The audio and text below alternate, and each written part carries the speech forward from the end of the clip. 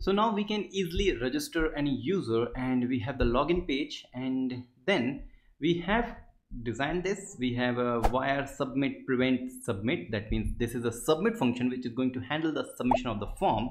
And we have created this submit function. We have this form which is holding the email and the password field and we have mo wire model for a form.email form.password and next what we need we need the validation. You got it right. So here we just need to say this arrow validate and you can copy the validations from register. So I can just copy it and then I paste it. Remove the confirmation. So this there's no confirmation required and no name required. And that's good. So now if I hit yeah form dot email is required and password is required. Cool. So we have done that and we already have this error fields because if you remember we have copied everything from register.blade so we also have this uh, error field. Okay. So now we have that. When we pass the validation we need to really log in the user. So we can simply use the Laravel way of making login. So auth then attempt and attempting with this dot form. And this should really log in the user. So now after this I can redirect to the home page and home. So once again let's create the name for this home page. Name is home. And that's it. We have done that. Now let's try this. So sarthak at bitfumes.com password is secret123 hit login and we are redirected to this page. But how do we how do we confirm that we are really logged in? So first thing is if we are logged in we don't want this login and register buttons. Hmm. So we can first go to app.blade.php and this div which is showing this uh, login and register buttons we can hide this and we can simply say if auth uh, check if auth check is true we also have one for guest. So why not use the guest one? So if the guest is there then going to show login and register.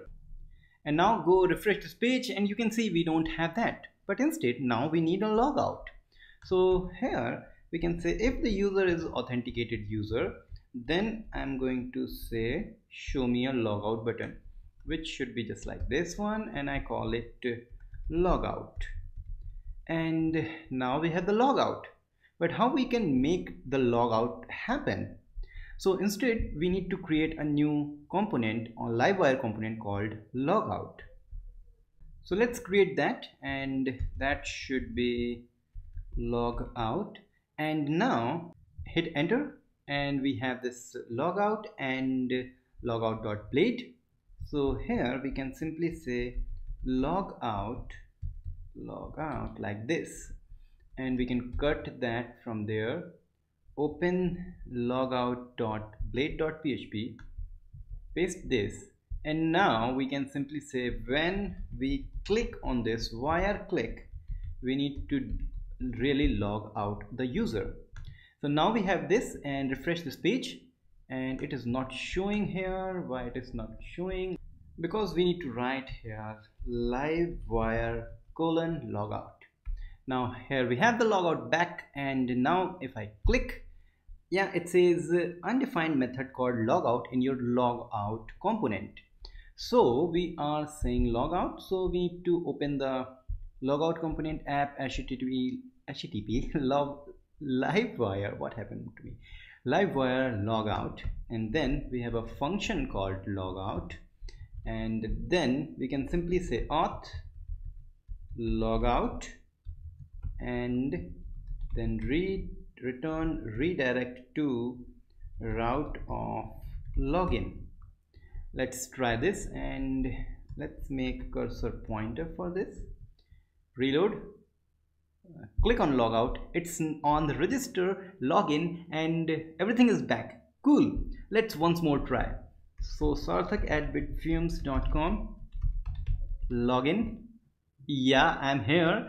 And now if I click on logout it's working. Wow congratulations. We have done single page application with the authentication without writing any JavaScript.